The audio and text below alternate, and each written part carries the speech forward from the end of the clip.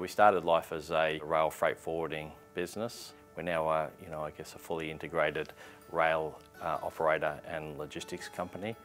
You know, SCT is still, uh, you know, a family business. You know, we have staff that have, you know, been here for, you know, close to 40 years. In relation to the SCT Logistics business, infrastructure projects, uh, particularly around rail, uh, are particularly important. We, we rely on on that infrastructure. So we don't have any other alternatives. So when there's a, an upgrade or a new piece of infrastructure, uh, we normally, uh, you know, we can capitalise, you know, on that and uh, and deliver the benefits, uh, hopefully that are originally uh, intended.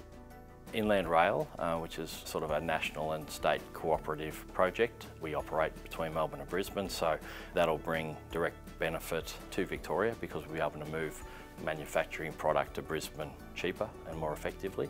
And we're very involved uh, in the port space. So in terms of running rail shuttles into the port, which is consistent with the Victorian government's objectives, particularly around road congestion. I think it's the largest cost increase that, you know, that we've had uh, over the past 10 years. Average time for us to do a delivery is somewhere around two and a half times longer than what it was seven or eight years ago. It's a massive, massive cost. Both sides of government uh, are fairly proactive, uh, as we see it, uh, in the in the infrastructure space. You know, we'd like to see the momentum continue with enabling us to get more, you know, more freight into the ports by rail, and we reduce our cost uh, and improve our uh, the business competitiveness in Victoria.